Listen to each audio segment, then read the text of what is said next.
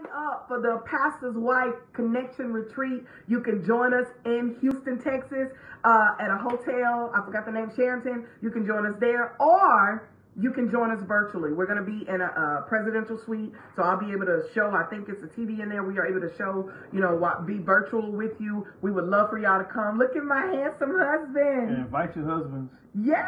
I'll be there spending time with the men. I had to sneak in. I'm sorry. Come on, y'all say hello to Bishop. He didn't just jump in. Hey, I'm hijacking the video. Thank you, Bishop.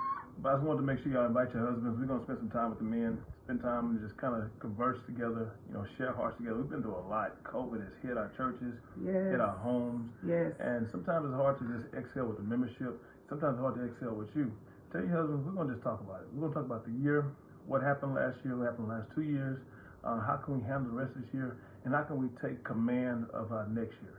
We're gonna talk about together. There's no one giving any instructions. We're gonna just collaborate together to see how we can just come together and conquer what God has given us to do without the mm-hmm. distraction of anything else.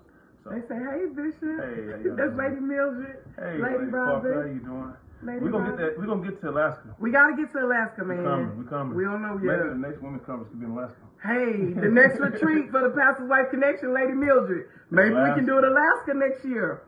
I'm excited. Hey. But I'm sorry to bum. No, I thank you. you. Thank you, honey. All right, y'all. So I'll see y'all tonight. 8 p.m. And what Bishop said, bring your husbands. It's going to be an amazing three day event, man. I'm telling you, if you came last year, uh, you know, um, Lady Kelly, Lady Davis know it was absolutely, we cried, we laughed, we cried some more, and we were able to just grow together. So I can't wait to rock out with you tonight.